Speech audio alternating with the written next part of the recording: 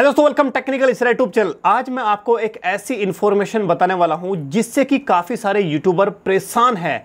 और प्रॉब्लम में है, मेरे पास काफ़ी सारे क्वेश्चंस आते हैं कि इसरार भाई, अगर मैं अपने गूगल एडसेंस को ओपन करता हूँ तो इस तरह का जो है ना, यहाँ पे इस तरह की विंडोज़ दिखाई देती है।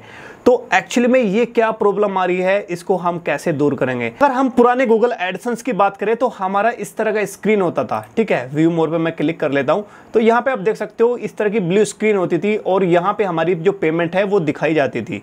पर यहाँ पे आपको बता दूँ कि अभी आपको डरने की ज़रूरत नहीं है। अब आपको इस तरह के दिखाई जाएगी। यानी कि अब यहाँ पे जो इसका फॉर्मेट है, इसका जो डिज़ाइन है, वो चेंज हो चुका है। अगर आपके गूगल एडसेंस में इस तरह से दिखा रहा है तो इसका मतलब ये है, तब भी कोई दिक्कत नहीं है। नया फॉर्मेट आपको यहाँ पे असाइन हो चुका है। अगर आपको इस तरह से अभी भी दिखा रहा है, तब भी आपको कोई दिक्कत नहीं है। दोनों केस में कोई भी आपके दिक्कत नहीं है, कोई भी आपके एडसेंस में प्रॉब्लम नहीं है। काफ़ी सारे लोग डर जाते हैं, घबरा जाते हैं। ये घबराना और डरना नहीं है। आपको बस एक क्या करना है, आपको अपना आइडेंटिटी वेरिफिकेशन आपको सही से कर लेना है। उसके वो कैसे करते हैं, मैं आपको बता देता हूँ। यहाँ पे आपको पेमेंट में जाना पड़ता है वेरिफिकेशन चेक में जाना पड़ता है।